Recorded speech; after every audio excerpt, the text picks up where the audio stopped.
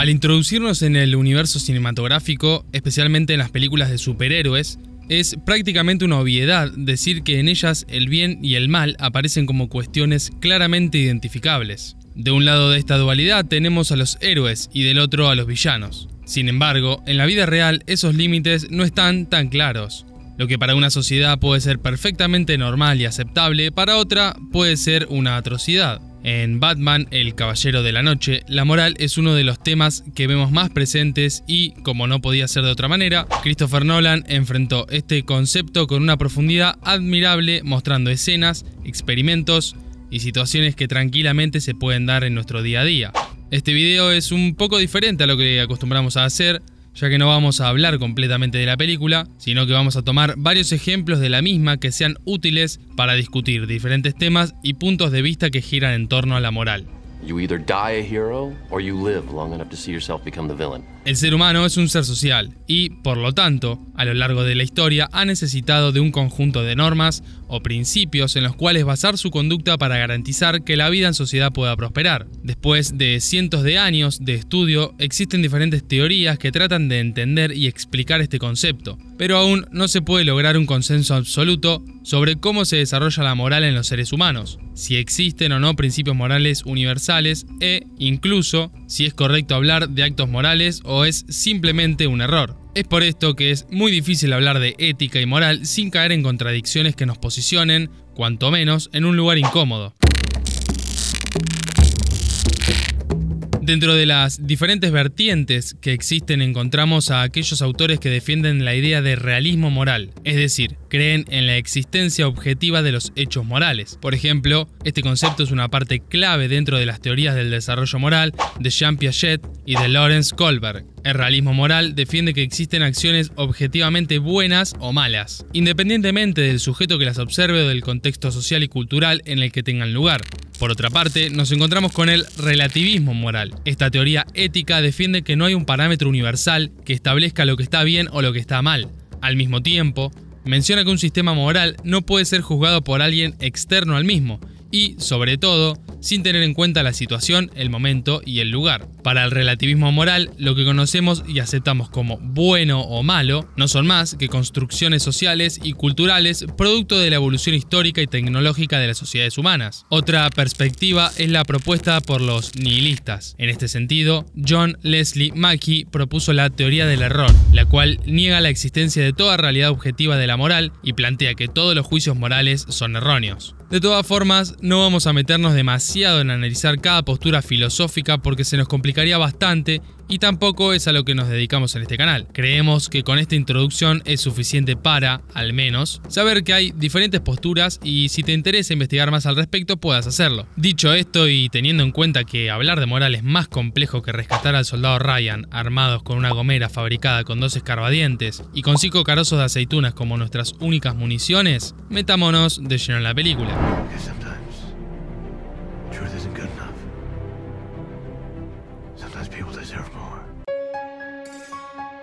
En Batman, el Caballero de la Noche, se expone un enfoque más relativista de las acciones morales y eso lo vemos plasmado en muchas situaciones. Desde la primera película de la trilogía veíamos algunos indicios de esto que estamos diciendo. Un caso particular lo apreciamos cuando Ra's al Ghul le pregunta a Bruce si cuando vivió con criminales en las calles comenzó a tenerles lástima. A lo que Bruce responde que sí, sobre todo cuando debió robar para no morirse de hambre.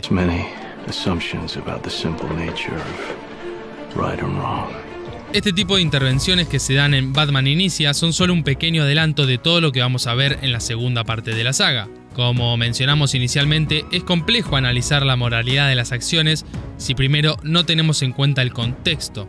Los hechos se desarrollan en Ciudad Gótica, que si bien es una ciudad ficticia, no escapa a la realidad que se vive en miles de ciudades latinoamericanas. La ciudad está repleta de políticos y funcionarios corruptos, lo que marca de manera tajante los principios morales que atraviesan esa sociedad. Si las personas a cargo de hacer que se respeten las leyes son quienes más las rompen, ¿qué podemos esperar moralmente de esa sociedad? Creo que todos sabemos la respuesta. Y si a los políticos, jueces, fiscales y policías con dudosa moralidad le sumamos el accionar de un villano con todas las letras como lo es el Joker, el caos está más que asegurado.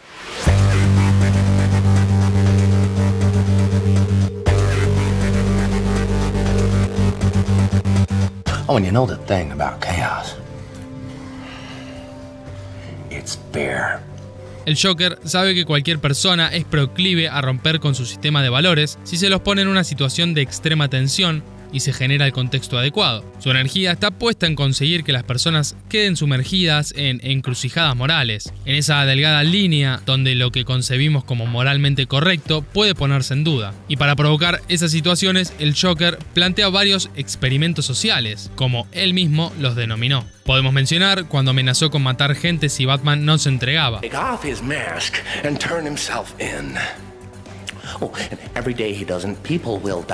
Bruce quedó entre la espada y la pared. Si mantenía su identidad en el anonimato, indirectamente decidía que sigan muriendo más personas. Por el otro lado, si revelaba quién estaba detrás de Batman, iba a salvar algunas vidas, pero podía condenar el destino de su ciudad para siempre. Nuevamente, vemos que sea cual sea la decisión que tome, estará afectando sus valores morales. En este caso, ¿qué decisión te parecería más aceptable? Suerte para Bruce que lo salvó Dent. También recordemos cuando el Joker mencionó en los medios que si Coleman Reese, quien pretendía desenmascarar a Batman, no moría en 60 minutos, él se iba a encargar de que explote un hospital. Ante esta situación, diferentes personas se acercaron al lugar donde se encontraba Reese para increparlo e incluso un ciudadano le disparó.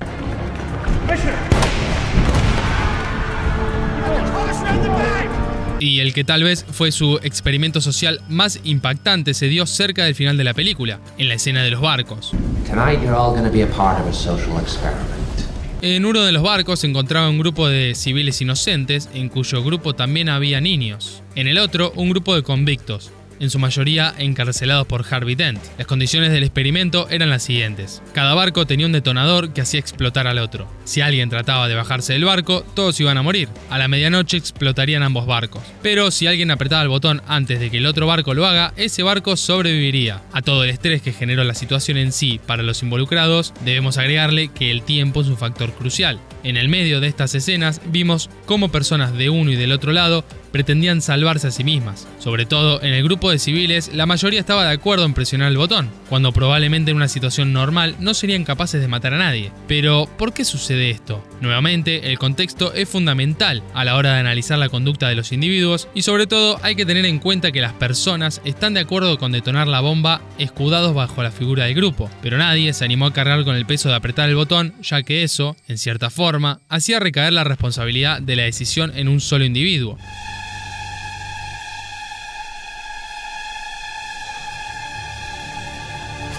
Lo más llamativo de este episodio es que tranquilamente podría haber sido una simulación que tenga lugar en la vida real, como ha sucedido con decenas de experimentos o en dilemas planteados en el plano hipotético.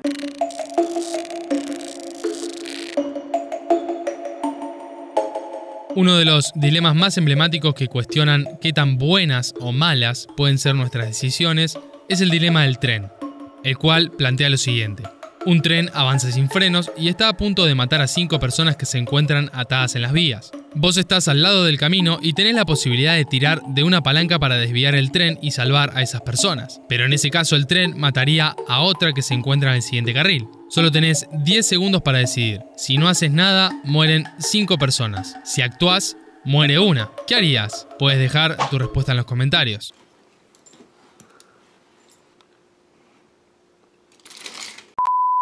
Ahora bien, esta situación hipotética se puede complicar un poco más. Si tu elección preferida es tirar de la palanca, imagina que la persona que se encuentra sola es quien más amas en el mundo. ¿Lo harías de todas formas? O a la inversa, si tu mejor opción en un principio fue no hacer nada, ¿tirarías de la palanca si entre las cinco personas está quien más amas en el mundo? ¿O seguirías sin intervenir? Así como estos ejemplos, podemos seguir añadiendo cientos de condicionantes que hagan aún más compleja la decisión. La realidad es que desde un punto objetivo estos dilemas no tienen una respuesta correcta, solo sirve para que nos planteemos cómo podríamos llegar a actuar ante situaciones que comprometen nuestros valores y cómo es posible que cambiemos de opinión si además de la moral se involucran sentimientos y emociones.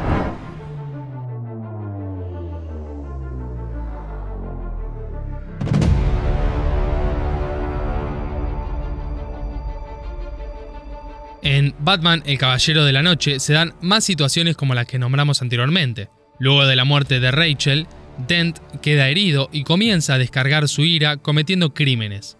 Cuando el que muere es Dent, Batman y Gordon enfrentaron un dilema. Decir la verdad sobre lo que había hecho Dent o mantener su imagen limpia y que la ciudad siga sosteniendo la fe en un mundo mejor. En nuestro sistema moral, ser sinceros es uno de los pilares fundamentales, y sabemos que en el universo en el que se desarrolla la película, la cual está cargada de realismo, también lo es. Sin embargo, tanto Gordon como Batman decidieron ocultar los crímenes de Dent y mantener viva su buena imagen ante la sociedad. Pero, ¿por qué? Una respuesta que podemos encontrar para tratar de comprender este tipo de decisiones está en la visión que plantean los utilitaristas.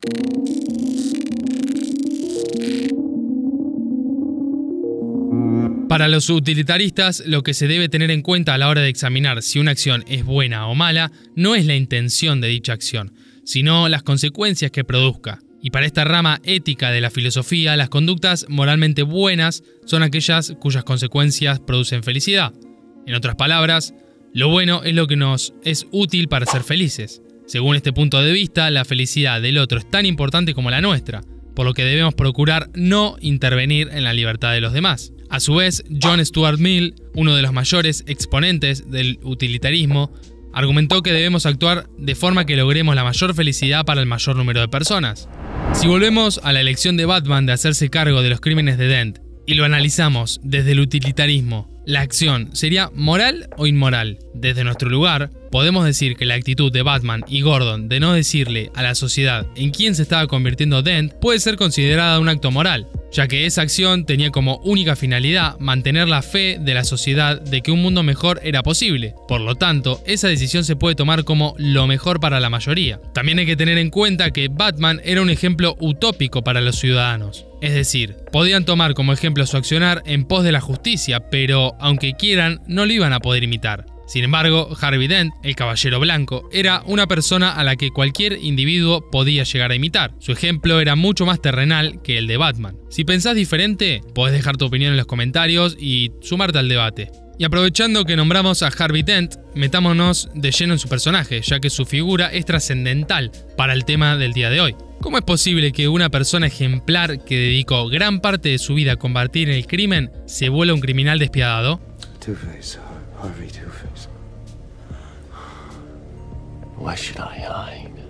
Una buena explicación de lo que sucede con Dent luego de la muerte de Rachel la podemos encontrar en la teoría de la desconexión moral de Albert Bandura. A lo largo de nuestra vida vamos desarrollando diferentes principios morales y tendemos a regular nuestra conducta de forma tal que seamos coherentes con dichos valores. Sin embargo, es probable que en algunas situaciones las personas actúen en contra de sus normas interiorizadas, dando lugar a un conflicto moral que provoca tensión y malestar ante la propia conducta.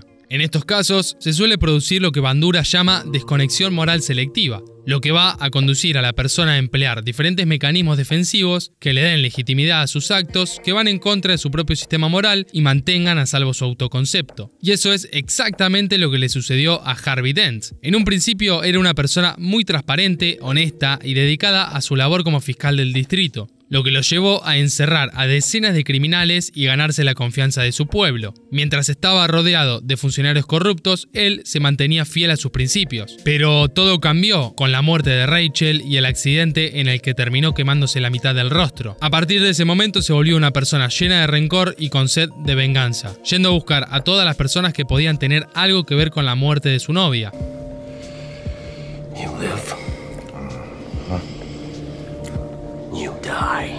Pero el aporte de Bandura no termina aquí, sino que añade más elementos que son muy interesantes para analizar la conducta de Dent y de otros personajes dentro de la película. La teoría de la desconexión moral manifiesta que dicha desconexión se puede dar en diferentes niveles. Locus de conducta, locus de acción, locus de resultado y locus del receptor de las acciones. Al mismo tiempo, el autor plantea que existen ocho mecanismos diferentes que son empleados para justificar las conductas que van en contra de nuestros principios morales. En el caso de Harvey Dent, podemos encontrar de manera muy marcada el mecanismo de desplazamiento de responsabilidad, propio del locus de acción. Este patrón consiste en atribuir la responsabilidad de nuestros actos a otras personas o situaciones. Y como todos sabemos, Dent utiliza el azar para poder decidir si debe matar o dejar viva a sus potenciales víctimas. Lo que hace en realidad es escudarse en el azar para que la situación de arrojar la moneda se lleve la mayor parte de la responsabilidad y él no sienta que está violando su sistema de valores internos. Y al mismo tiempo justifica sus acciones diciendo que no se puede ser bueno en una sociedad repleta de basura.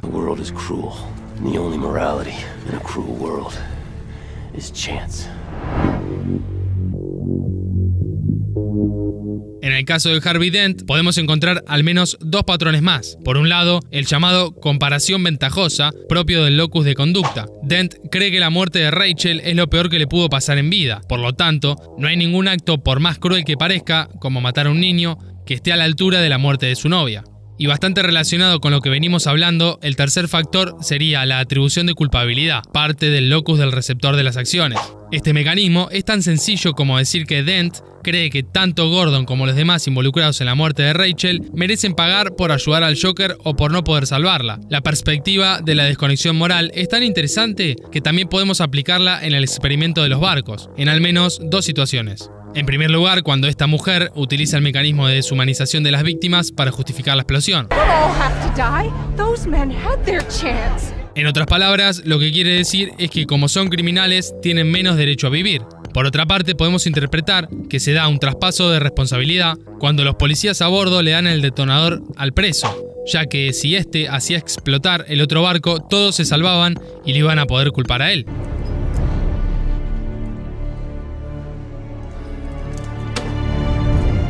Y todo este experimento es tan trascendental para el tema que hoy nos compete que si nos detenemos a analizarlo al detalle, seguro encontremos mil ejemplos más, pero creemos que ya es suficiente. Como hemos hablado a lo largo de todo el video, nuestra intención no es la de tratar de llegar a una conclusión objetiva para identificar quiénes son buenos o malos, o qué acciones son correctas o incorrectas, sino que es una invitación a reflexionar, debatir y cuestionar la realidad en la que vivimos. Algo que hoy tomamos como moralmente correcto puede que en 10 años nos parezca aberrante. Seguramente muchas personas que viven en otros lugares y forman parte de sociedades culturalmente diferentes a las nuestras vean inmoralidad en muchas de nuestras conductas, y lo mismo en el sentido inverso. De hecho, aunque solo miremos a las personas que viven en el mismo país, la misma ciudad y tal vez formen parte de nuestro mismo círculo social, probablemente tengamos visiones diferentes de lo que es moralmente correcto y lo que no. Retomando lo que decíamos al comienzo del video sobre las películas donde hay un esquema definido de buenos y malos, podemos agregar que esto es efectivo porque la mayoría de la gente tiene una mirada simplista de las cosas. Sin embargo, nos parece que la propuesta de Nolan es superadora y probablemente eso sea lo que convierte al Caballero de la Noche